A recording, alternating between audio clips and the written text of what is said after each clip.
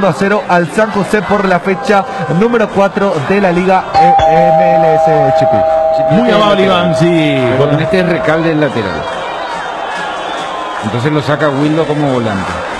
Bueno, la pelota a la derecha. Buena apertura para Beto. Beto en medio y está. ¡Gol!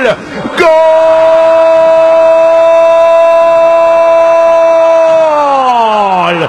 ¡Gol!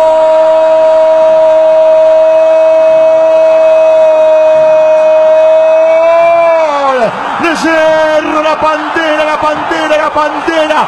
Gran pase a la derecha para Beto. Se metió en el área. Solo como loco, mal a la derecha. La asistencia de Aquino lo vio al Beto, el Beto al medio. Atropelló todo a Benítez. Chocó con el arquero de Yapa. Le quedó la pantera, la pantera solo en el arco allí para empujar la pelota. El gol de la pantera para abrir el marcador. Se defendía bien en resistencia. Ofrecía mucha resistencia. Y Cerro aparece ahora con la pantera para poner el 1 0 de la noche. Cerro Porteño 1, Resistencia 0. La pantera Morales 71 de partido.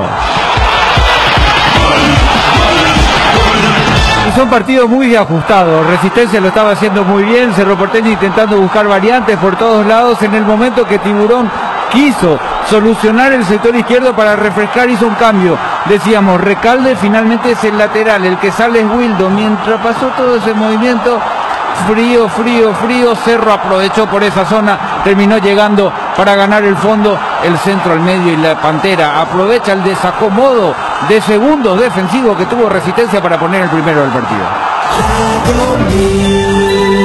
A los 70 minutos del compromiso, Robert Osmar Morales, alias La Pantera, marca su séptimo tanto en el torneo, en su séptimo compromiso. Chipi es su gol número 22 con la camiseta del Cerro Porteño en 43 compromisos por torneos locales. Y quedó dolorido Ruán, pero en una jugada que, que no fue falta de Benítez JJ, ¿no? No, me parece que no. Terminan chocando, sí, pero no hay falta.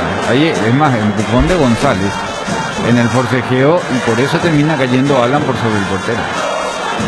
Sí, señor, gol lícito. Gol lícito de la Pantera. La Pantera para el que, por ahora, es el único puntero del campeonato. Muy en medio, ¿verdad? Pero me parece que es para Alan. Pasa que aquí no es. Ganarle la pulseada mental.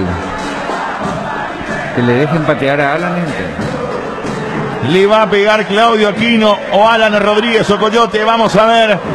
Allí dialoga justamente Aquino con Alan. Vamos a ver quién le pega. Tiro libre para Cerro. Puede estar el segundo. Carrascal que igualmente habla con un compañero detrás de la barrera.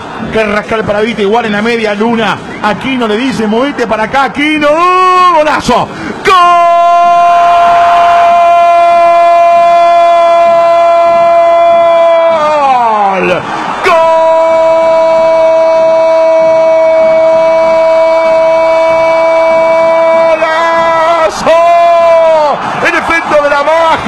De la distracción, te muestro algo y cuando más cerca lo ves, menos lo estás observando.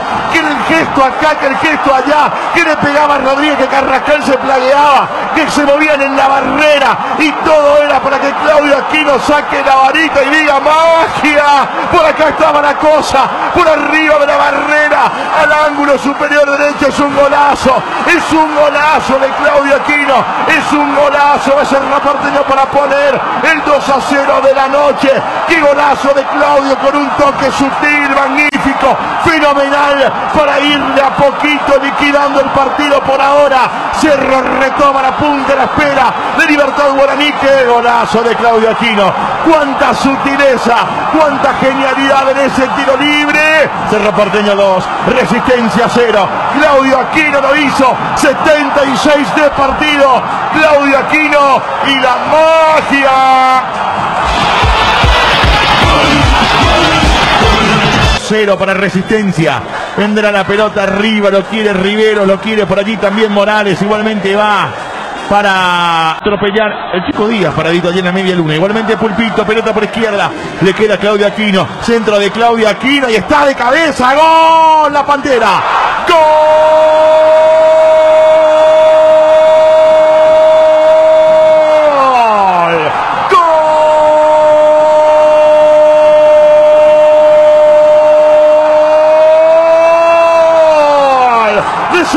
Cerro, la pantera, la pantera de cabeza. Gran centro de aquí, lo anticipó en el primer palo. Le sacó la ventaja al Chapa, le puso la chapa. La pantera de goleadora Y de cabeza conecta para recontraliquidar el partido. Cerro en esta noche de sábado. A la espera del partido de mañana. Es el único puntero del campeonato. Se recupera del clásico. Piensa en el futuro. Toma la punta. El ciclón del Chiqui se levanta y con goleada incluida. Cerro 3, Resistencia 0. La Pantera nuevamente. 86 de partido. Confusión total después de aquella expulsión para el equipo de Resistencia. Jorge González que tomaba a Alfio Oviedo, como entró Sergio Díaz, se sale del área y no tenía marca, no sabía para dónde ir. El Chapa Martínez que tomaba Morales termina confundiéndose, arranca tarde Morales muy vivo. En el primer palo ganando el movimiento, pelota parada de Cerro Porteño, el goleador. El que eligió Chiqui en cancha, Morales convierte el segundo personal, el tercero para Cerro.